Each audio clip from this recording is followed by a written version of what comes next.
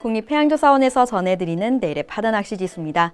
자외선 차단제와 쿨토시, 물통 등 무더위에 지치지 않도록 단단히 준비하셔야겠습니다.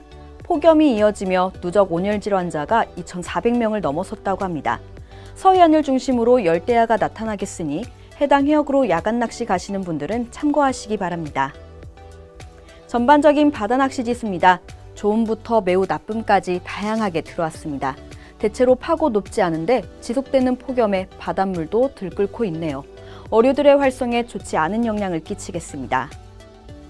서해안 하조도 조음지수 들어왔습니다.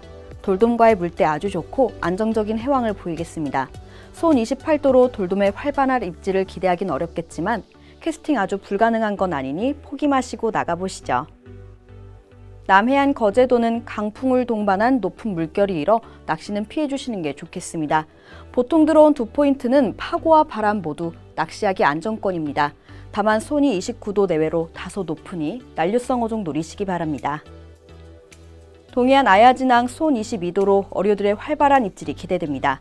물결 0.3m에 바람 초속 3m로 캐스팅 원활하겠습니다.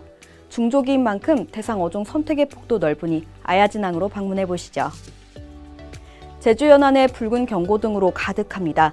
서귀포와 성산포 초속 10m로 또는 강풍 불겠습니다.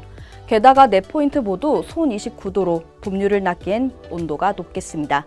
손에 예민한 대상어종이 많아 입질이 쉽게 오르지 않겠습니다. 지금까지 내래 바다낚시 지수였습니다.